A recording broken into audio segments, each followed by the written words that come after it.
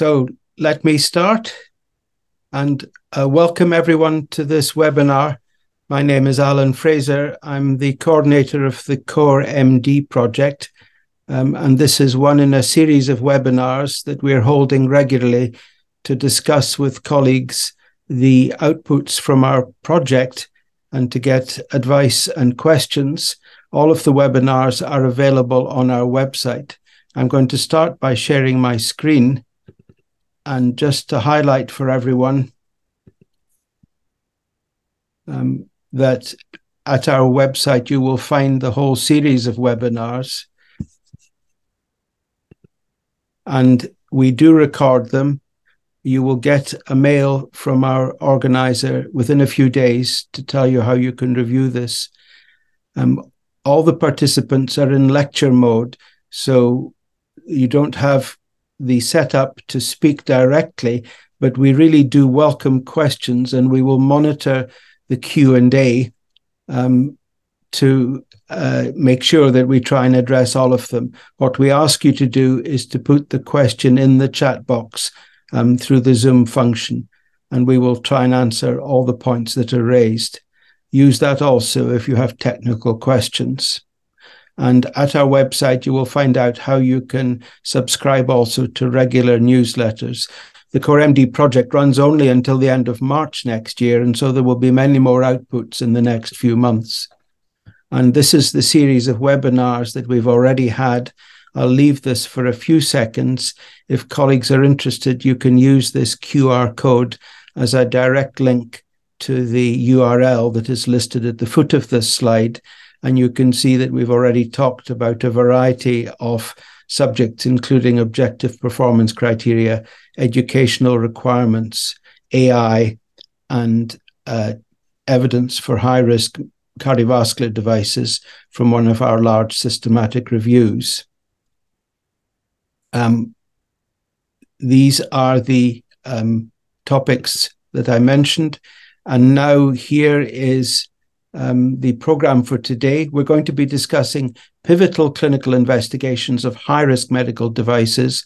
What guidance do we need and by whom?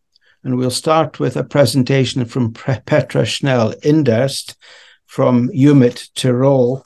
Uh, she's the lead of uh, the project in CoreMD reviewing regulatory guidance, and she's an expert in health science and technology.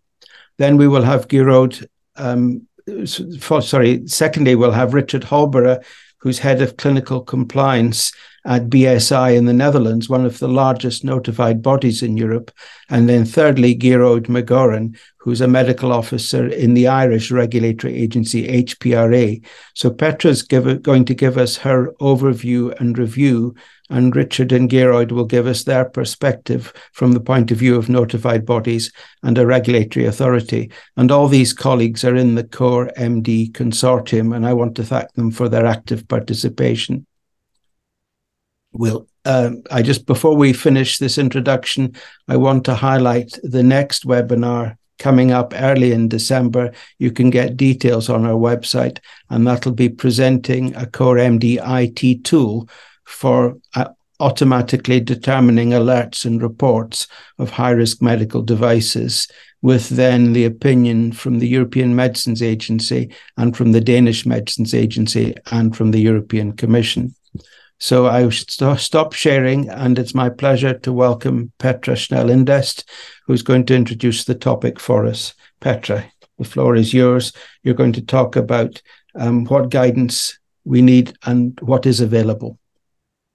Thank you very much, Ellen. I first have to rearrange my screen a little bit. That's fine. Thank you. Please go ahead. Okay.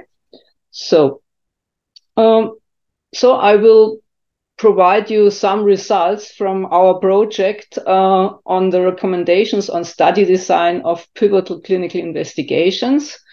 And in this slide, I want to acknowledge the contribution of my colleagues, and I'm very grateful for the support of the people from, from the consortium that I have list, listed here on this slide. A couple of stakeholders involved in the European certification of medical devices could benefit from studies design recommendations.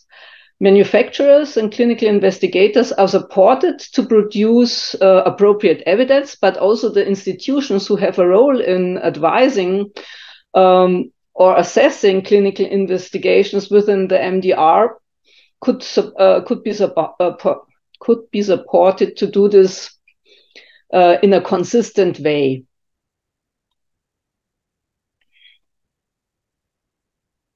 We performed a systematic review of existing recommendations on design methodology for confirmatory pivotal clinical trials of high-risk medical devices. On the table on the right, the pivotal clinical investigation is located in the scheme of clinical development stages and design types in the pre and post market stage according to ISO 14155 on good clinical practice of medical device studies. We searched recommendations from national and transnational regulators of high income, high income countries as well as from the International Standardization Organization. General guidance documents for high risk devices or broader definitions, including high risk devices, were included. With regard to device-specific guidance, we included guide, uh, guidance relating to cardiovascular and orthopedic high-risk devices and high-risk devices for diabetes because this was the focus of the CORE-MD project. Our goal was to compare and describe similarities and differences and to identify gaps. We structured study methodology in the following sub, uh, subtopics for extractions. First, definitions of levels of evidence. This means explaining the validity, validity of study types and what might be considered sufficient validity. When is a clinical investigation needed and when not was a second topic. Further, um, the advice on appropriate choice of study design and methods general aspects of study design around the population intervention, comparator and outcome schemes, statistical methods and considerations of the context of use and the learning curve, and finally, all requirements for reporting the clinical evidence and the methods used. Now let's have a look on recommendations from regulators first. Overall, we found 30 guidance documents of regulators of high income countries. In this Sankey diagram, we have a rough overview. In the first column, we have divided the publication period between 2010 and 2022 into three periods. The second column shows the jurisdiction or source of the guidance document and uh, in the middle, we have listed all included guidance documents. And on the right, we have listed the topics addressed. Each document could contribute to several topics. Here, here you can see that most guidance documents cover issues around the PICO scheme and have also emphasis on how to report studies. But there's only few guidance on the level of evidence of studies. We will take a closer look at this in the next few slides. This table shows which topics were addressed in the documents issued by the European Commission, the Medical Device Coordination Group in Belgium.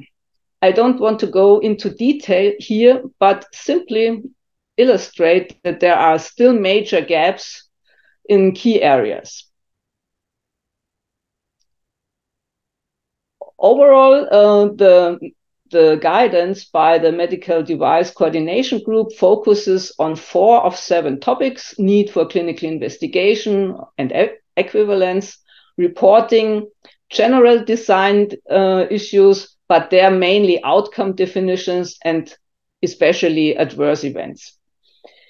The guidance mentions levels of evidence only in the context of clinical evaluation of legacy devices, and it's not about um, evidence levels of single uh, studies. Further, we have uh, still valid the MEDDEV uh, document on clinical evaluation, which was uh, published under the medical de device directives, but some parts have been uh, declared still valid, valid by the MDCG. And the topics there are need for clinical investigations and equivalence, as well general study design issues. And there's also there are also some validity criteria for studies there. Overall, most guidance documents come from the FDA. And here we find three documents containing important substance matter guidance on pivotal clinical investigations for high risk medical devices. The design considerations for pivotal clinical investigations for medical devices is the most comprehensive document on the topic. Newer de developments in study design are considered with detailed guidance especially on Bayesian adaptive designs, which might help to reduce sample sizes and address uncertainty in elements of studies design before the study has been started, uh, such as uh, the effect size or the variability of effect. Further, there is guidance to analyze and report different treatment effects that might occur in subgroups of the population and the issue of underrepresented subgroups in studies. And finally, we have also um, a document how patient engagement in planning a clinical uh, investigation can contribute to study design.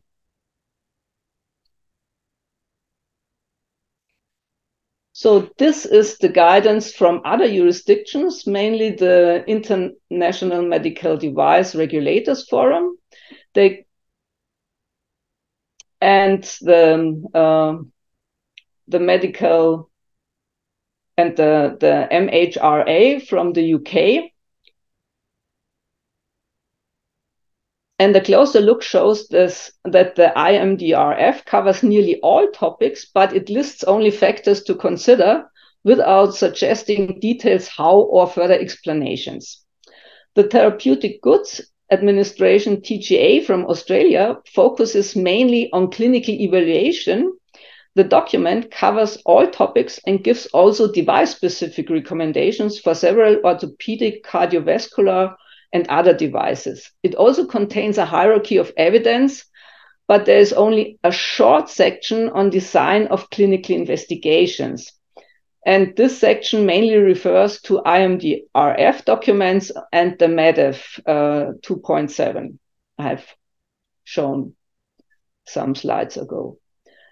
The guidance from Medicine and Healthcare Products Regula Regulatory Agency MHRA from the UK covered also many topics, but only very brief, and the document applies to all developmental stages and risk classes, and therefore it is not very specific on high risk uh, medical devices and the pivotal clinical trial design. Over, over, over all jurisdictions, we have identified some gaps.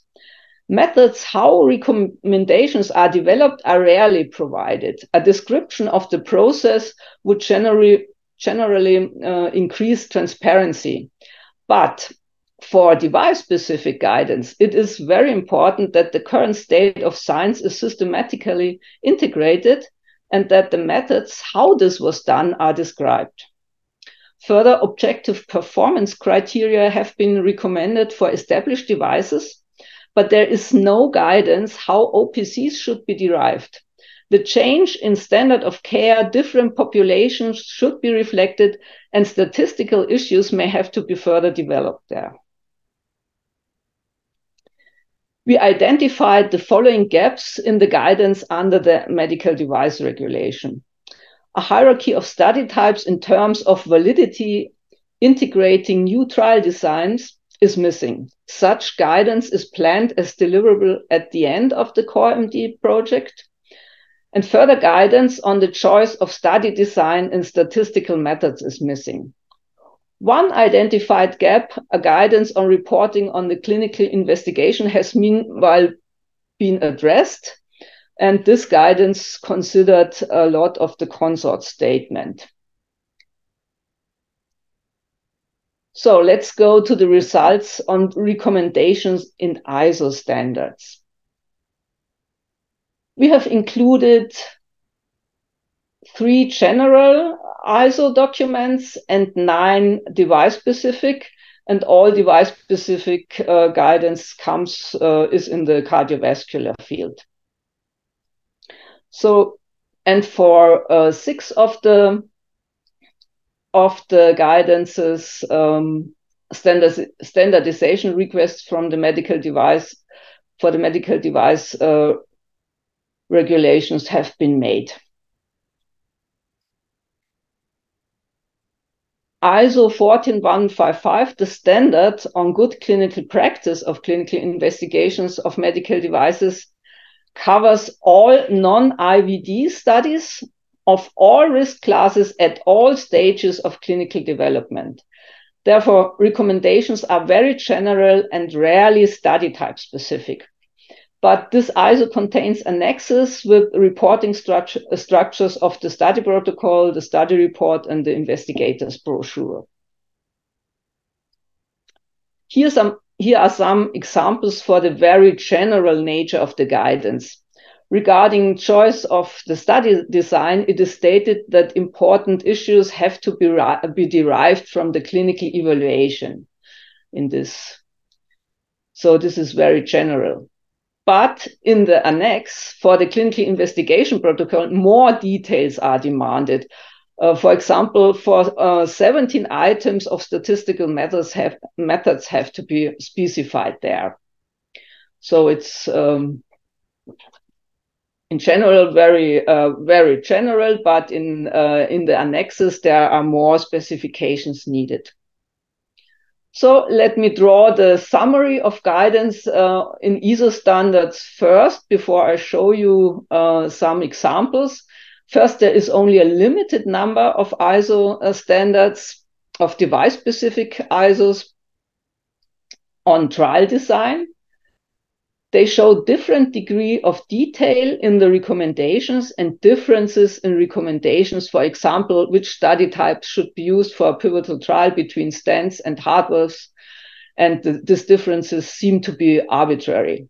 And there is no method section in ISO standards, and there it is and therefore it is unclear how the current state of science was considered. So let me show here an example for heart valves. Um, here you see the the category uh, category uh, which has been ex extracted, and when he when you compare here the recommendations for heart valves uh, for choice of study type with the recommendations for the other uh, five uh, standards on stents, grafts, and patches, so here you will see that in the choice of study type for the heart valves, for novel and modifications of well-established uh, devices, RTT is demand, uh, RCT is demanded. Uh, whereas for established devices without um, modification, objective performance criteria are recommend, uh, recommended. For the for the other devices, four ISOs only demand controlled multi-center trials with at least three sites and a justification if no control is used. So on the next slide, you also see that, for example, for a comparator, the, the heart valve ISOs ask for um, active control with comparative devices or another active comparator but uh, whereas the most of the um, other ISO only relate to the very general uh, comment recommendation in in ISO 14155 so that this is dependent on the on clinically on the results of the clinical investigations. And the other thing is I want to um, uh, make you aware of is that the annexes uh, are very important in this ISOs because they really spe specify all endpoints that should be used in the clinical investigation. And um, here also the heart valve ISO are very uh, much more detailed. They uh, they um, describe all endpoints, Whereas in the description of the stents grafts and patches, um, there is only a description of device effects of failure and clinical effects of failure, so adverse events. So this should show you that um, the yeah how these uh, recommendations are done is um, not very standardized at the moment. So we identified also several gaps for ISO. Um, so ISO 14155 applies to clinical investigations uh, in all development stage, uh, stages and to all risk cl uh, classes, and it's not aiming specifically to, uh, pivotal uh, studies on high risk medical devices. There are guidance specific to high risk devices distinguishing more between established and new devices could be useful. Further, um, there's only a limited number with uh, clinical investigation recommendations available. So the question is, should we recommend to um, make more uh, such requirements in, in other ISO documents, or should there, this be a task for common specifications by the uh, MDCG? And the current state of the art must be reflected in device specific ISO. At the moment, there uh, is no method section, and we think that systematic literature reviews are the state of the art to identify um, to identify also um, issues in trial uh, design, and special attention should also be um, paid to consensus statements from representative groups of professionals, which also give such recommendations. Methods for deriving recommendations were not described, and therefore is the question, should we have a common methodology for clinical investigation parts for device-specific ISO? Is this needed? So thank you for your attention, and I'm happy for questions. Thank you very much, Petra. And can I remind colleagues, uh, while you stop sharing your screen, that um, we ask you to put questions in the Q and A. Um, sorry, um, there we are.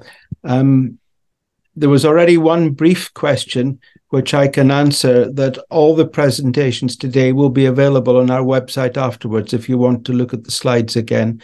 And Petra, thank you. You've done an extremely detailed report for our consortium, and that will be made public um, during the later stages of the project, which means within the next few months, so that all the detailed tables that you've prepared comparing regulatory guidance from the different types of groups will be available.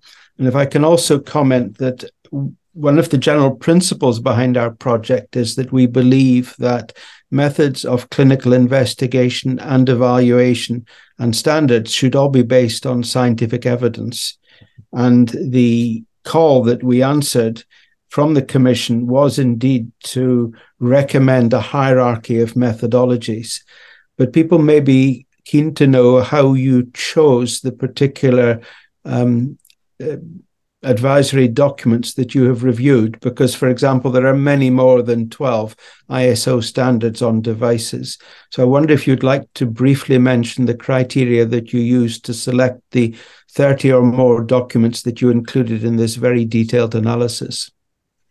So we included um, only implantables, and um, so there are not so many, and implantables should be uh, the devices should be implantables. On the other side, uh, it should contain a recommendation on clinical investigation more than just referring to the general ISO. So um, and after this was enough to throw out most of the more than I think uh, about 800 uh, standards we have screened. So yeah, so you've answered my next question, which is that you screened a huge number and selected the ones that you've just summarized.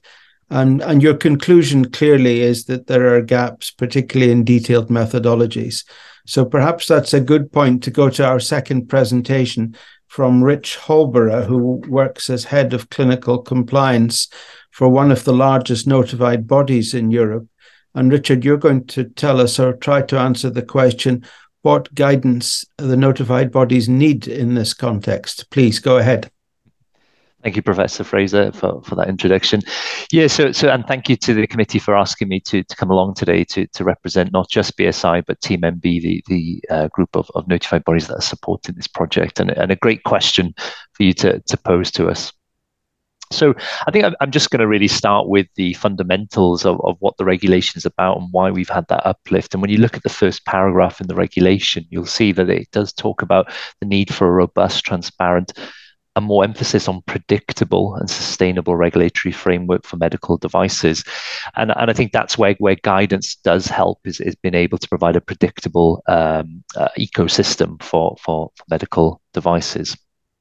And of course, really for us, uh, when you look at the regulation, it won't tell you specifically what the expectations are on a device. It won't tell you, you know, exactly how many patients are needed, what the primary endpoint is for a, for a valve, for example uh, that looks to to supporting guidance uh, that that should follow that and some discussions that I'll cover as part of this presentation around things like common specifications that are mentioned, but there is nothing specific. Um, and really, the, the emphasis there is, is for the manufacturer to, to provide uh, the, the level of evidence that they think is appropriate to the device under evaluation. It's for us as notified bodies to, to agree on whether or not that, um, that, that level of evidence is appropriate. And what we use is the term sufficient clinical evidence. And that's mentioned within Article 61.1. And so the one of the shifts that a lot of people don't realize is under the old regulatory system of the directives, we had lots of guidance and again lots of general guidance of the MedDev that, that Petra has mentioned about, particularly 271 Rev 4. And then 2016, that was the biggest um, biggest change uh, to happen in, in medical device regulation, particularly clinical evaluation, in terms of bringing manufacturers and notified bodies up to an expectation of, of what is expected, what is the science behind a clinical evaluation, and what is that process. So, under the regulation now, uh, notified bodies have to have uh, personnel that have clinical, relevant clinical experience. And under the, the old directives, we, as notified bodies, we didn't need to employ people who were clinical experts. Uh, there was no actual legislative requirement. There were guidance documents saying that notified bodies should have these personnel supporting the assessments. But now, under the regulation, and this is important because it feeds into, into the presentation I'm going to do today. So as I said, the, the role of the manufacturer is to provide sufficient evidence, and then the the uh, role of the notified body is to verify that, that that evidence is in fact sufficient. What do we mean by the term sufficient? Well, for notified bodies, we're always looking at the quantity and quality of clinical data. And of course, that can be dependent on, on various situations. And of course, it depends on different regulatory scenarios as well. So today I'm, I'm going to talk about an example um, of, a, of a coronary stent to try and give some reference to, to how things might be different in terms of sufficiency and why there is this challenge for, for notified bodies. So under the regulation, uh, manufacturers can, can make a claim of equivalence. And essentially what they're saying in a claim of equivalence is that our device is, is identical pretty much to, a, to another device that's currently on the market. And so when they're claiming equivalence, they have to meet certain criteria.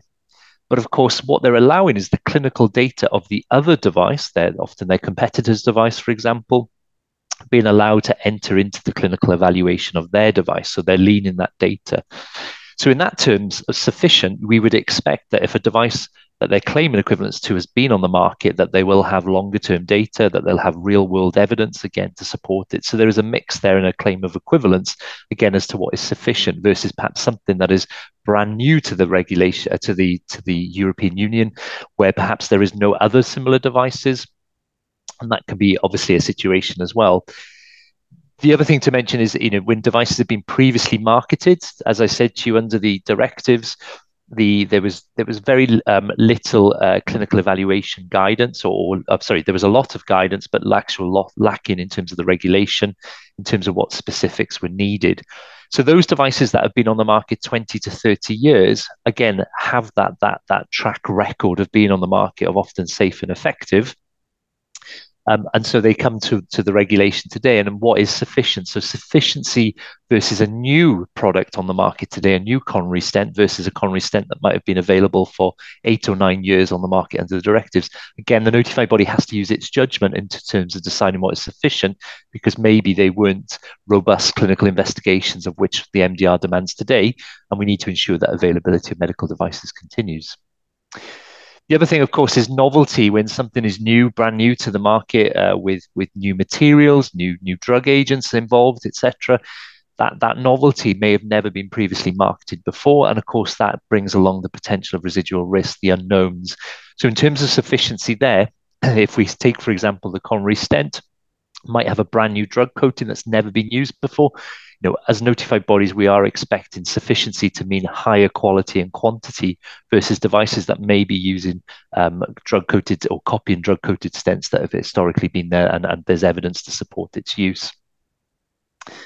And the other thing as well is device lifetime. Um, if if we take, for example, um, uh, uh, this coronary stent, and they do um, pre-market clinical investigations, the lifetime of a coronary stent may be somewhere between five to 10 years, for example, but are we really expecting manufacturers to do a pre market study of 10 year period?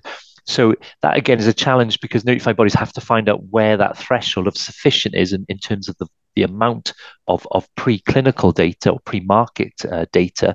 So for example, if somebody comes to us with a coronary, brand new coronary stent, with the pre-market investigation of three years, is that sufficient? And we're always asking ourselves as as as um, as notified bodies, you know, are, are, is this sufficient?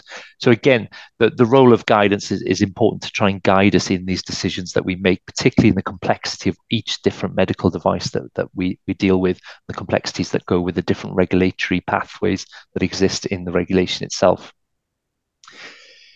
So again, as I said, you know, when there is a lack of clear guidance on the interpretation of sufficiency for these devices, it leads to different interpretations because the manufacturer's interpretation with a lack of specific um, guidance to say that you need for this coronary stent you need to have this primary endpoint and this volume of patients the manufacturers are sort of leading in a in a blinded situation of okay, do we do this? And do we do this amount of patients? Do we hold back? Do we add this particular endpoint to the study? And they're always trying to gauge because notified bodies can't consult to, to manufacturers either. So there is this this um, regulatory aspects as well that we're not allowed uh, within the regulation. We're not allowed to consult. So really you start off with a, a very um, unpredictable situation of manufacturers simply guessing what, what they think is sufficient. Obviously, they have uh, appropriate input from their clinical experts in their in their industry, but ultimately it is a bit of a gamble. And then, of course, then it comes along to what is sufficient because for us as notified bodies, what are, what what do we think is sufficient for that coronary stent? And again, now we've got two contrasting potential contrasting opinions of what is sufficient in terms of that data. Under the new regulation, we have the European expert panels that are going to look at high risk medical devices, particularly those that are new to the market with novel uh, aspects or health or clinical impact aspects. And again, their interpretation of what is sufficient might actually be different to what the notified body and the manufacturer's situation is. And of course, notified bodies are, are designated by competent authorities. And so, again, there are multiple competent authorities or multiple designating authorities in, in Europe. And of course, that leads to, to potential different interpretation of what they think is sufficient. So the idea of the system being predictable and what we see in the first paragraph of the regulation does with, with a lack of actual specific guidance for, for all actors in the in the um, situation leads to potentially difference of, of opinions.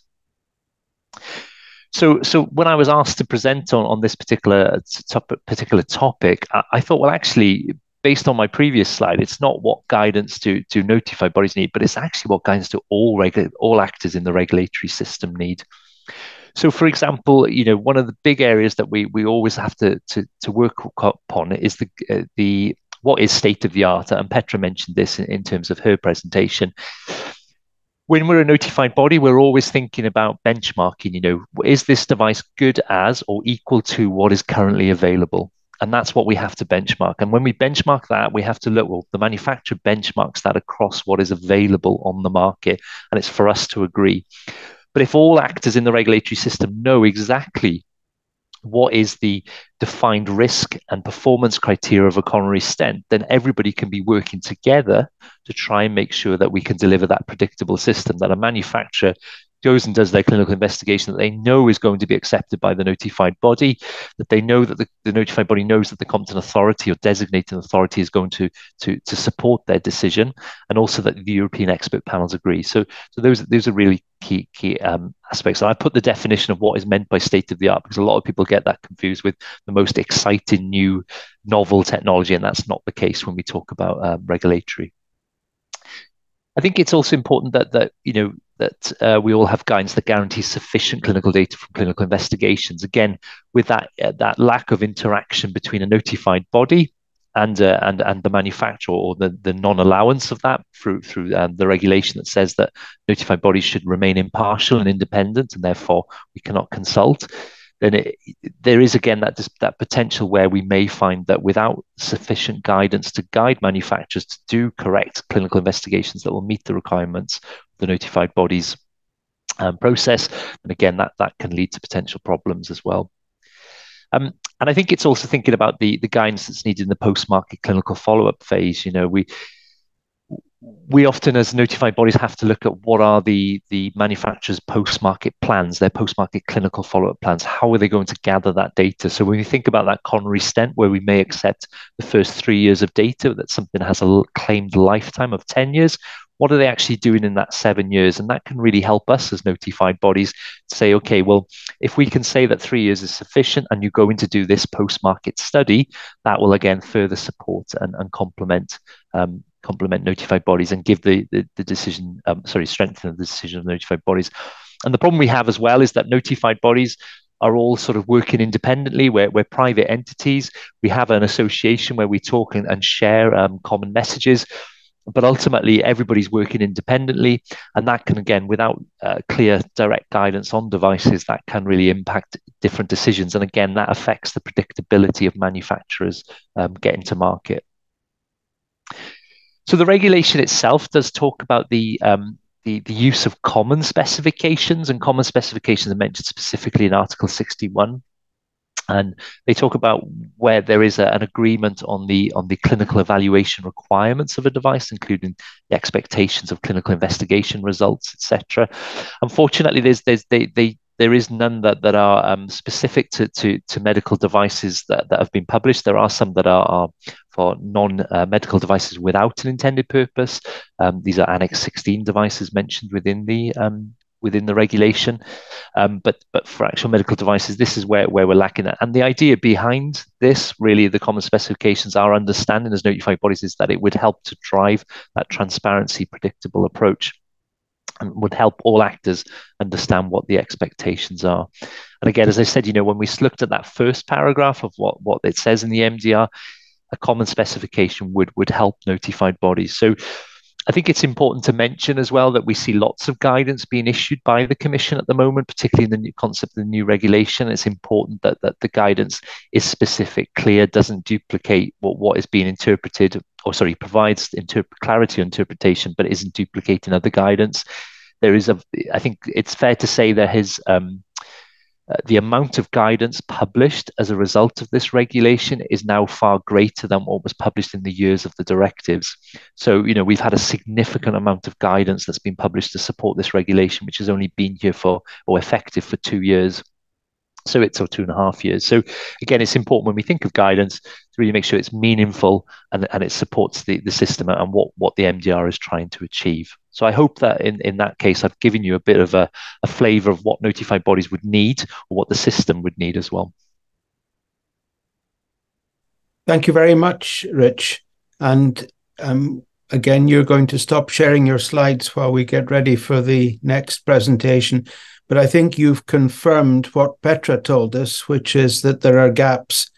And from your perspective, um, they contribute to the lack of predictability that all the notified bodies will give similar judgments on the same files if they were to see them um, because they're applying the standards to the best of their knowledge, but they're doing it independently. So, do you see a need here for central documents to be produced? And do you think the plethora of new MDCG guidance documents are providing that? Because to me, they're quite general. Yeah, I think I think the principles of, of clinical evaluation and the support and interpretation are there in the MDCG guidance, and, and I think clinical evaluation it, it gives it, I guess, the, the foundation or the science of what is a clinical evaluation. But there's nothing there that, that really provides us as, as notified bodies to say I, to give a distinctive yes or no answer. And I think notified bodies are often criticised for using the catchphrase "it depends." and it really does depend. But to bring that certainty to, to, to, for medical devices to enter the market in the EU, if we had these these clear direct guidance documents for specific device groups, it can only ever support uh, the notified bodies decision making and provide that that calibration across notified bodies themselves. Well, thank you very much. We have a lot of questions, and I want to try and ensure that we have time to come back to them generally. But before we do that, we're going to hear from um, Gearoid McGauran, who's a medical officer in HPRA, the Irish regulatory agency. He's in their medical devices division, and he's also a member of the Clinical Investigation and Evaluation Working Group of European regulators. And I think, uh, Gearoid, you'll tell us a little bit about what's happening and what's being developed. And then collectively, we can discuss where we should be going as a system. So over to you. Thank you. Thank you very much, Professor Fraser, and uh, good afternoon, everyone. I'm, I'm very happy to give a presentation today on on the MDCG uh, Clinical Investigation and Evaluation Working Group, or CIE for short. Um, I'm a member of that working group, and and uh, I'm happy to describe its role within the European uh, regulatory system. So uh, today I want to uh, start by giving an, uh, an overview of the role of the MDCG CIE working group, and um, I'll then explain the role of competent authorities in regulating clinical investigations. Um, I will give a description on some of the challenges we have faced as regulators, and finally I will give an overview of the uh, future guidance that we are developing to try and address these challenges. So uh, MDCG stands for the Medical Device Coordination Group, um, and this is a group that was created under the MDR. It is an expert committee that is composed of representatives from every EU member state, uh, and generally represents the national competent authority uh, for that country. Uh, it is chaired by the European Commission, and the primary aim of the MDCG is to ensure a harmonised implementation of the MDR, um, as well as IVD or the in vitro diagnostic regulation. Uh, the MDCG is composed of 13 subgroups, of which CIE is one. Um, CIE uh, assists the MDCG in, in, in respect to the clinical requirements of the MDR. Uh, one of our key roles is to draft guidance on the clinical requirements, as well as giving proposals for uh, future clinical common specifications. Uh, within our activities, we engage very closely with external stakeholders such as clinicians, researchers, industry representatives, notified body representatives, and our interactions with them and their inputs help inform our future guidance. Uh, so, national competent authorities play an important role in regulating clinical investigations of medical devices. Um, in order to help researchers and sponsors understand the regulations, uh, a lot of competent authorities will give guidance both at an EU level through CIE and MDCG, but also on a national level. Um, for example, uh, competent authorities such as the HPRA offer pre submission meetings to uh, sponsors and device innovators who are hoping to uh, develop and, and conduct a clinical investigation. In the pre-market setting, uh, pre-market clinical investigations of non-CE marked medical devices generally need to be authorized by a competent authority before starting. Uh, this applies to first-in-human studies, early feasibility studies, as well as pivotal studies um, of, of non-CE marked devices. In the post-market setting, uh, a researcher uh, sorry, if researchers want to conduct a, a, clinical investigation on a CE marked medical device, they generally don't uh, need a full assessment from the regulator, but instead they might need a notification as a PMCF investigation or post market clinical follow up investigation. Uh, this only applies to devices that are being used within its intended purpose. Um, so if you plan on conducting a study of a CE marked device that's outside its intended purpose, that generally needs a full assessment and authorization from the regulator. Um, there are some situations where uh, a post market investigation may not need regulatory review, uh, and this is dependent on national laws. So, in general, we advise uh, if that if you are planning on doing such a study uh, uh, in the post-market setting, it's a good idea to contact your national competent authority to give it to get advice from them on their own national requirements.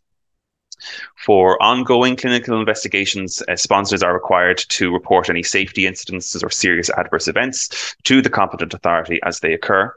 Um, the regulator will then monitor the sponsor's activities, make sure that uh, what they are doing to investigate uh, these SAEs is appropriate, uh, and to ensure that there's still an acceptable level of safety in the study. Um, if necessary, the um, the regulator can conduct site inspections uh, on individual investigational sites. And if a sponsor wants to make a substantial change to an ongoing clinical investigation, uh, generally that needs an application and review from the um, regulator as a substantial modification.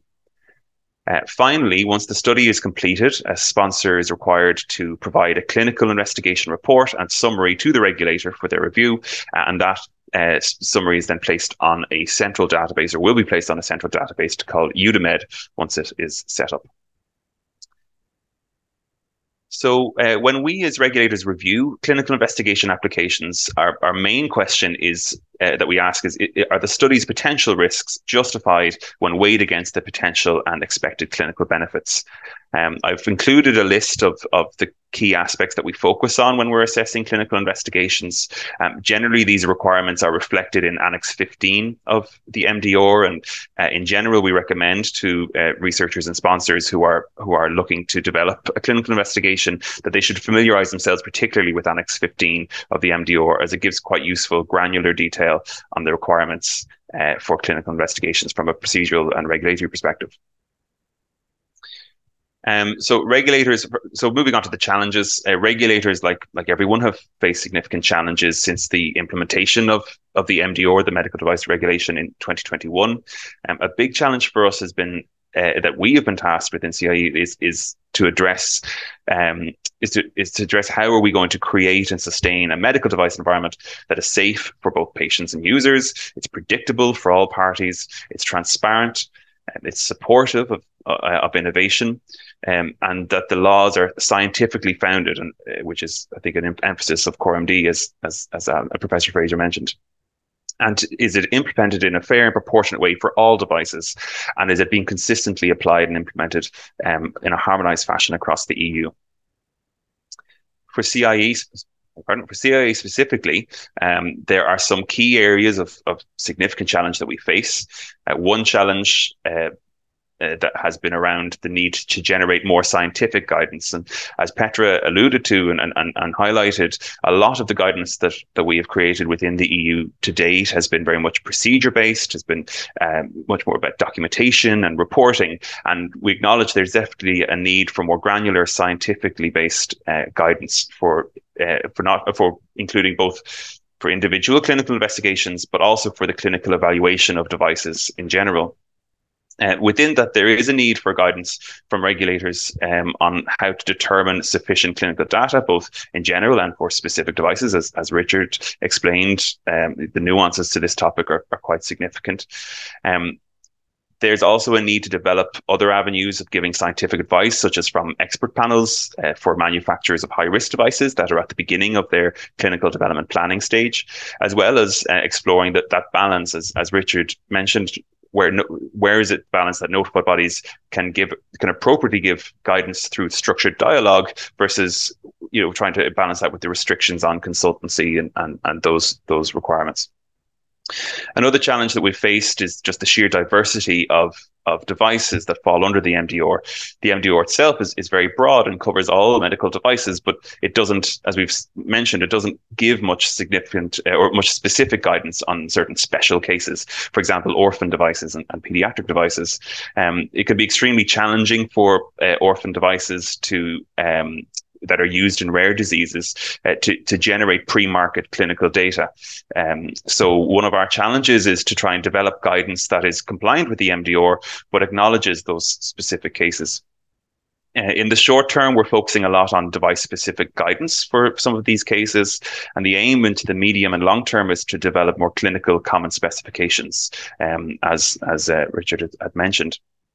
Uh, it is important to acknowledge that obviously developing these clinical com- common specifications will require a, a, quite a specific set of clinical expertise and technical expertise, uh, because often they will be device specific. Um, so that is its own challenge to to recruit and identify those experts to help in creating uh, these guidances and, and common specifications.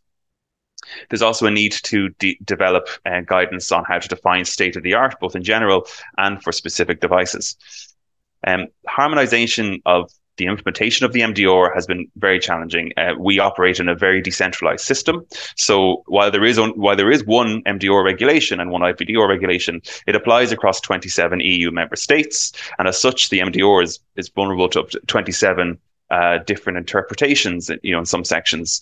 Um, so one of the challenges that we face is to create and ensure that we create consensus in understanding from a regulatory perspective, and that's what a lot of the, our guidance um, focuses on. But once we even create that guidance and then release it into the public, it then enters another decentralized system uh, with with over 30 notified bodies in MDR who then read it and then they interpret it. And inherently, with all of these stakeholders, including the manufacturers, the more people involved interpreting it, the, the less predictable it, it, it, becomes. So that can be quite challenging. It's something we, we deal with every day. Um, another challenge is around uh, combination studies. So these are studies that are both clinical investigations of medical devices, but also say, clinical trials of, of investigational medicinal products or drugs, and sometimes in combination with performance studies of IVD devices. So in those situations, uh, one study could fall under three distinct regulations, MDR, IVDR, and the clinical trials regulation, CTR. Um, so that that can be extremely difficult for for researchers and, and sponsors to try and navigate. So that is a, a challenge that we're that we're trying to address. Um, in addition, uh, we are creating, uh, when we're creating guidance, we do need to be conscious of other global markets as, as well as international guidance, say from, from IMDRF uh, and international standards. So all of these uh, uncertainties, they directly impact on the predictability of the European market. Um, and the hope is that if we can address these challenges, that they will have a knock-on effect to improve the predictability and uh, from a, certainly from a clinical perspective. So future guidance, uh, my, my final slide.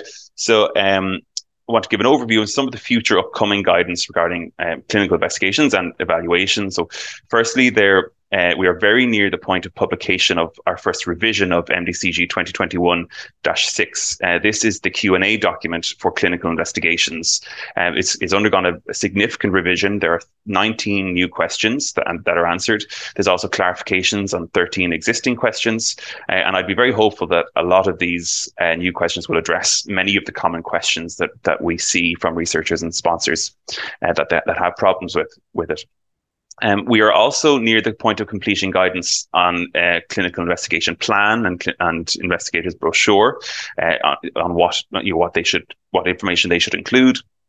Um, earlier this year, CIE worked with the Commission to develop specific guidance on the clinical investigation summary report, which is available online. Uh, we are also nearing completion of guidance uh, regarding mandatory clinical investigations for high risk devices, which is outlined in, in Article 61.4. Um, so we're, we're, and we're also carrying out other work uh, to give more specific guidance on the requirements for pilot versus pivotal clinical investigations. Uh, for clinical evaluation, there's a huge amount of, of work being done, uh, which is led by our colleagues in Italy on, on updating the clinical evaluation guidance on MEDDEV 271 that Richard mentioned. Um, so there's a huge amount of work in, in aligning that to MDR because that was based in the directives in the past. Uh, we are using this the opportunity to incorporate more scientific guidance into that revision on how to conduct clinical evaluations. And uh, we're focusing on the concept of scientific validity of data. Uh, we're giving examples and recommendations on different methodologies, on say for literature search, for appraisal techniques, for analysis methodologies. Um, so hopefully. Uh, th- this more scientific guidance will will allow for a bit more predictability uh, and justification for manufacturers and notified bodies when they're trying to understand that concept of of sufficient clinical data for specific um, devices. We're also giving more guidance on the life cycle evaluation, particularly that post-market you know, PMCF investigations, the role of registries, the role of um, of, of real-world data. Um, there are some device-specific guidance documents that are, we're focusing on. As I mentioned, uh, orphan devices are a priority, and, and, there's a huge amount of work underway with that to develop specific clinical uh, guidance on that. Uh, we're also setting up a new work package that is looking at the outputs from CORE-MD's work uh, with a view of seeing which outputs can can inform the development of future guidance on, on specific devices, for example, AI devices. Um, there is a pilot ongoing with uh, EMA expert panels on giving clinical advice to manufacturers in that early part of the device development. So hopefully that can be expanded in 2024. Um, and there's also a new EU Horizon uh, 2024 uh, fund for a new project. Uh, and the, one of the key aims of this is to pilot the development of clinical common specifications, uh, as well as uh, giving specific guidance on and defining the state of the art for for several both medical devices and IVD devices. And I think that that project will help an awful lot in paving the way for us to efficiently uh, create uh, common specifications going forward. Uh, we're working on improving the harmonization of CI regulation through including uh, including through the work of of developing a coordinated assessment procedure amongst regulators. There's a the new combined project is looking uh, to to uh, align and make a more streamlined and compatible process for those combination uh, drug and device products. Uh, and finally, work continues uh, in in MDCG to improve the, the global harmonization or, or, or acknowledge the glo- global harmoni- harmonization by the use of harmonized international standards as appropriate, as well as engaging, engaging with international partners such as IMDRF. So um, thank you very much uh, for your uh, for your time. I hope that's been informative, and I and I hope that you will see the the work we are doing. We are facing significant challenges, but but um, I hope that you will see that with the amount of work we're doing, I am optimistic that a lot of this guidance will help address some of that uncertainty and, and improve predictability. Thank you very much. I'll, I'll stop sharing and open back to the floor. You're muted, Alan. Thank you. Thank you very much, Gearoid. And we've had a lot of questions, which we will do our best to answer. So, could I ask you to give brief responses as much as possible? Um, uh, Gearoid, let me start with you because there are a couple of fairly specific questions. When will the MDCG Guidance 2021 6 revision be available? Because that's perhaps the first that's going to appear. Uh, my understanding is it, it, it's expected by the end of this year. So in December, it's it's we've been moved for final endorsement. So it's very very near completion. So I, I would be optimistic and say by the end of the year. And uh, there was another question asking about um, the timing of release of the various documents, and it's impossible for us to answer each one at the moment. But perhaps another very important one is the revision of the previous guidance on the directives on 271 revision forward dated from 2017. And I understand that the first part of that might be available next year, but that it's not even gone for public consultation yet with stakeholders and attendees at the Medical Device Coordination Group. So, do you know when the revised EU guidance on clinical evaluation will be available, please? Yeah, so I, I'm the plan is again, as you said, certainly by 2024 will be the first um, first release within 2024. Um, it's taking a bit longer to go through the, that revision, but a lot of that is is is adopting much more scientific um, guidance. I think it'll be more useful rather than getting it out quick. We're trying to want to get it done right. Um, but there's a huge amount of work that the group and particularly Sylvia in, uh, within from our, our Italian colleague Silly Champia is, is leading a huge amount of work to do this. So um, I would be hopeful that it'll be put, going out to public consultation within Q1 of 2024, uh, and then I'll be asked. I, I, I know that we're aiming to try and get it done certainly within the first half of 2024, if not the end of it. But uh, that is a huge priority for us. It's a very high priority. We're just trying to get it done. And the other, um, the, the person who asked the question is anonymous but I think we can say that the time the the, the sorry the work program of CIE is publicly available with all the different tasks, if I'm not mistaken. And is that correct? And people can see what the regulators are working on. I believe it is. Yeah, I, I, think you you can access it through the European Commission website. Yeah. Yes. So the Europa website of the European Commission will keep people up to date. Now, um, let me go to one of the other questions and perhaps start with a question from David Epstein, which um, was that there seems to be missing from the system the idea that all actors can learn from experience. Um, maybe, Richard, you could start this. Is there anything that notified bodies can do to publish their reasons for a particular decision based on the evidence presented. How can notified bodies share information with each other and start to standardize their recommendations? I think you've been involved in setting up a group to discuss this now from clinical assessors. Perhaps you could share some of that information for us. Yeah, certainly. There's there's two aspects to consider. You know, there's uh, Team NB has got together all the notified bodies, produced a best practice guidance on on the submission that includes both clinical and technical documentation. Um, we also now are, are, opening up our training to to manufacturers so they can come and listen to what the training that we provide to other notified bodies.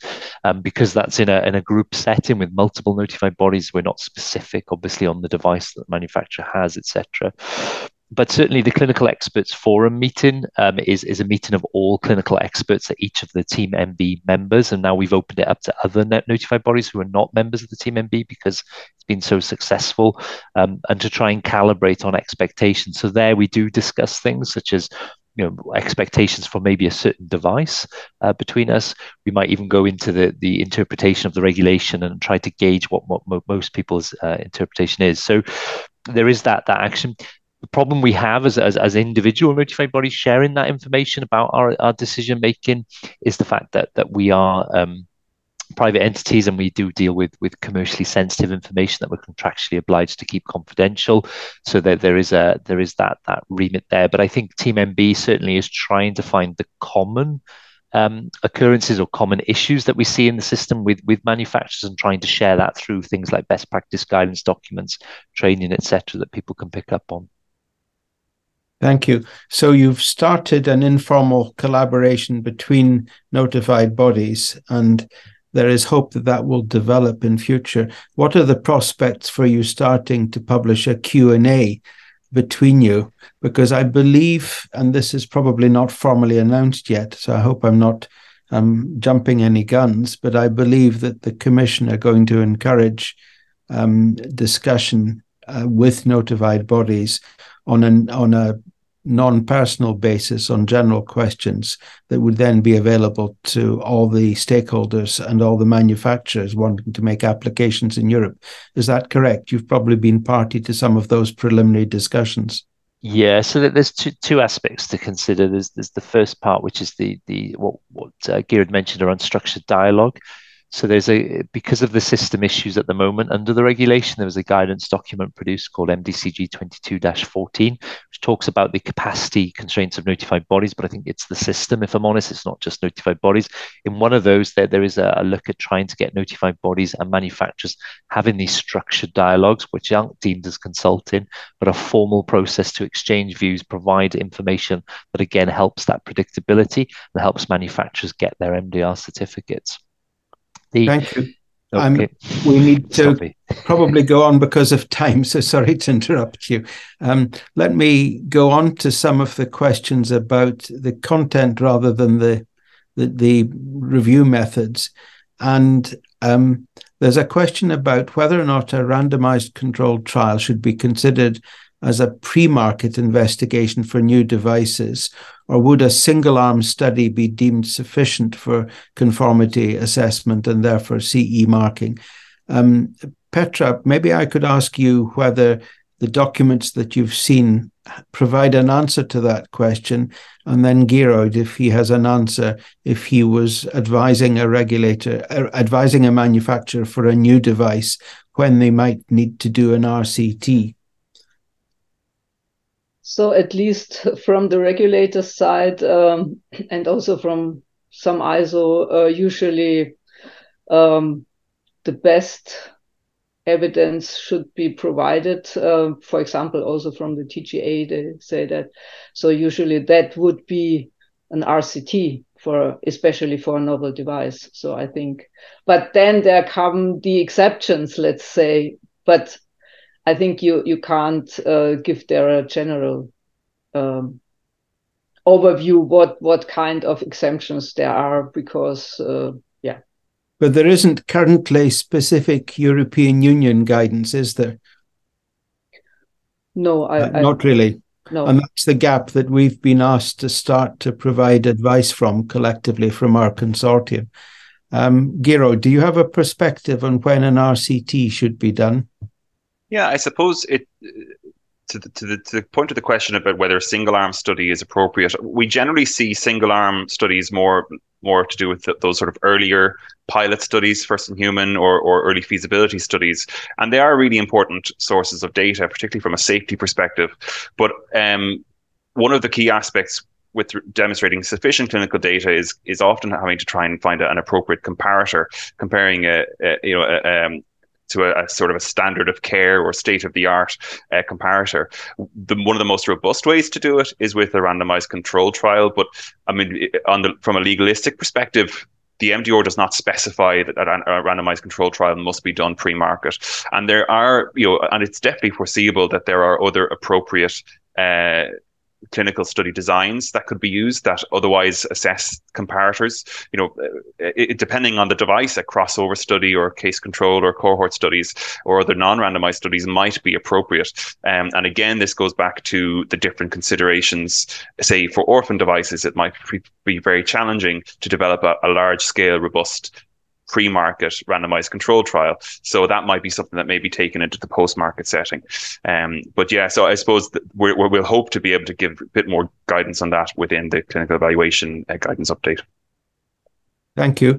And I think I could answer perhaps personally one of the questions, a short question about elaborating on advice that the expert panels are giving. Um, I think the European Medicines Agency is conducting, as we heard, a pilot exercise to give advice to um, manufacturers with new devices. And that's being very carefully evaluated and will be reported after the first 10 studies. They'd ha- had, I think, more than 30 applications from manufacturers and selected 10, and they will produce a report on that. And then that system will become ongoing. Um, for the panel uh, advice for standard applications that come from the notified bodies, there have been a relatively small number of reviews uh, put through the whole system, and they are being published, um, and there will be a review in due course. But the question is getting at how the panels give advice, and they have not yet given advice on trial methodologies in general are contributed to European standards, although that function is envisaged for them. And the European Medicines Agency is also now setting up educational or training um, or in house uh, sessions for panel members to understand the regulations and to apply them as uniformly and to the highest standard possible. So, would anyone like to disagree with any of the answers that I've given, or do you agree with that? Um, thank you. So, uh, uh, let me go on to try and summarize several of the questions together, which is pointing out how difficult it is for manufacturers and others to interpret all the different types of standards and regulations that we have MDCG guidance documents, common specifications, ISO standards, and so on. And let me try and summarize this and then ask you a question about it. Um, ISO standards are voluntary, but they become legal documents in Europe once they're harmonized and become CEN CENELEC documents. They become approved. But I think they're still voluntary standards. You could clarify the legal status of that. Common specifications are a special category within the European Union and they're legal documents. And once they're approved, then manufacturers who meet the standards of a common specification um, by default have demonstrated that their device meets the standards required for a conformity assessment. But there are, as we heard, extremely few common specifications. Most of them actually relate to class D in vitro diagnostics. And so there's a gap there. And then we have MDCG documents, which are voluntary guidance again. So is it fair to say, and this is a message from this whole session, that despite all these documents, it's still really unclear which one is the one we should go to for definitive standards on trial methodologies and statistical methods and so on within Europe for a particular class of device. And if I can preempt a conclusion, that's where in future um, clinical and scientific communities really need to help the regulators to construct a new ecosystem where there are publicly available standards that meet this gap. Um, Petra, is it fair to come to you first because you know the literature on this subject now probably almost better than anybody after your long report? Yeah, but uh, I came up with the question who should address this because I'm, yeah, I'm an academic and not so familiar with all the regulations and and um, the meaning. So I would say uh, what. So my I also was uh, confused how this could be implemented because there are so different uh, actors in the in the in the whole regulation. And as Richard uh, showed, that uh, there is also the the the point that uh, notified bodies cannot, cannot consult uh, their clients. Yeah, so I would just forward the question to to Gearoid and uh, and Richard because um, yeah. So who would like to go first? Yeah. we go to you first, uh, Richard, please. Yeah, that, that's fine. Yeah, um, yeah. I think uh, to, to to to think of the point of of where we need to be uh, in terms of, of it needs to be sort of uh, you've got all these different actors trying to achieve what I think is the same thing. You know, to me, a clinical evaluation is not a regulatory topic; it's a science subject, and we're all trying to prove the same thing. And what we need to have is is is a convergence of, of all regulators sitting in one room and saying this is the way forward. Um, and yet, you know, there will be things that Europe want, and that you know that that that will come out in a common specification that perhaps um, that the FDA, for example, would accept on a standard. But so I think what we need to have is is a baseline of what everyone um, should agree to in terms of a clinical evaluation for a specific device. And then we'll always have these due restrictions who will have their preferences because of one reason or another. And that's where, where perhaps things like common specifications play in. But it's it's it's an interesting question. But but yeah, maybe Gerard has some some. But I, thoughts. I would take up the comment that you've just made that actually we need convergence as well. And I very much doubt if any manufacturer would disagree that the mm. ideal system would be similar standards based on scientific evidence and the balance between evidence and risk in each regulatory jurisdiction. And the European Union should be working with others to fill the gap jointly, I would suggest.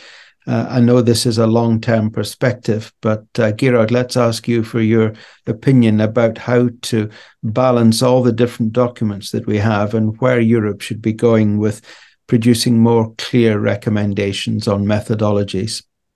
Well, I think that's that's the key. I think it, it, right historically, as as I mentioned, a lot of our guidance has been procedural and regulatory based, sort of almost bureaucratic sometimes.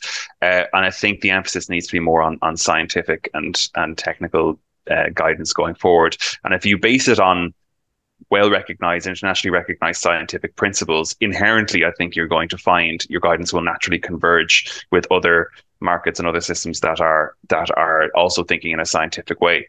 Obviously, we have limitations in how much we can globalize our requirements because the MDR is the MDR. And, and if you ask the question, what is the one what is the one thing that you refer back within Europe? It's the MDR. You have ISO, you have harmonized ISO, you have MDCG guidance, you have all directive guidance. Ultimately, it is it is down to the medical device regulation and IVDR for for um, for in vitro diagnostic devices.